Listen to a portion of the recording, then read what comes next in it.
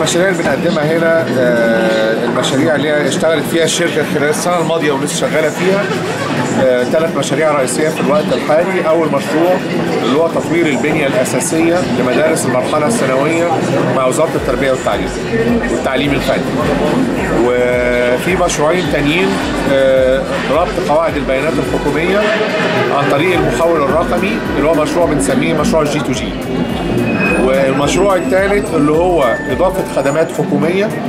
آه، على تطبيقات آه، خدمات مصر آه، الخاصة بوزارة التخطيط ت- تتيح للمواطن العادي إن هو يستغل 30 أو يقدر يت- يتعامل مع 30 خدمة حكومية عن طريق المحكمة.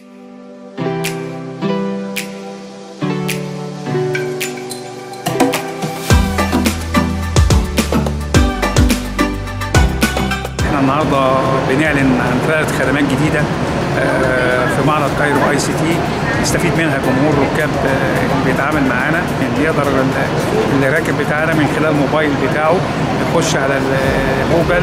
ويشوف المواصلات بتاعتنا ويختار الخ- ال- ال- الخط اللي هو عايزه ويقول له كمان هو لو هو مش محدد يقول له أقرب محطة اتوبيس واقرب باص هيوصل لك كمان قد إيه ويقدر كمان يعرف الزمن التقريبي أو الزمن المتوقع للوصول للمحطة اللي هو أصلا عايز يوصل لها أو المنطقة اللي عايز يوصل لها.